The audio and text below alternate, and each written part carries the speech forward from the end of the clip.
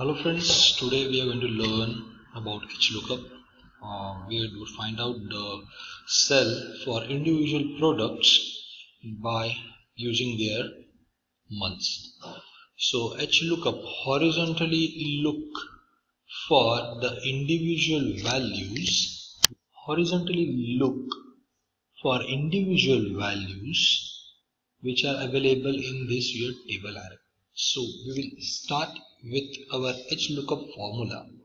So for particular January, January, February, March, January, February, March, we have to find out the individual product cell.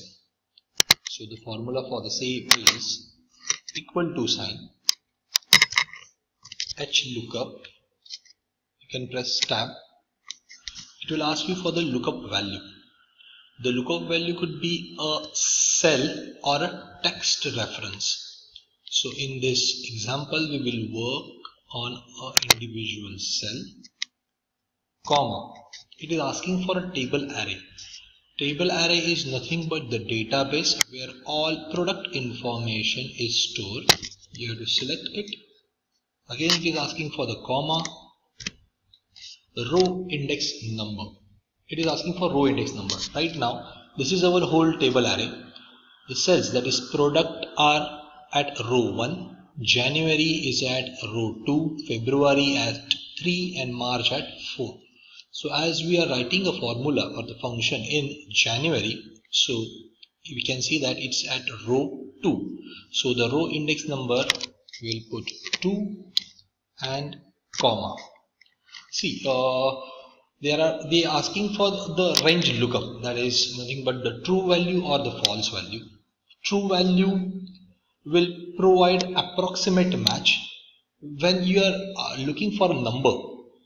In that if a particular value is not available it will go for the next lowest value. It basically used for number numbers only.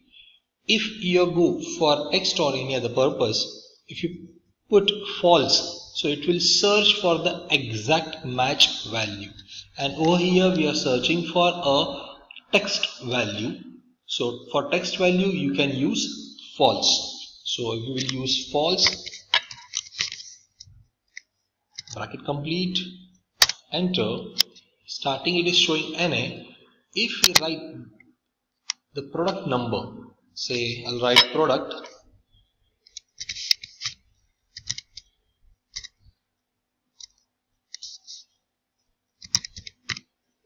product 2 enter.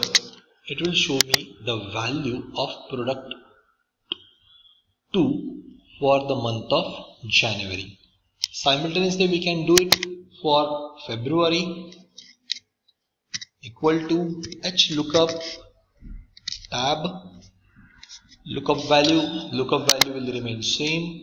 It will ask you for the table array. You have to select a table array comma row index number. So row 1 row 2 we are searching for February. So row 3 3 comma again false that is exact match.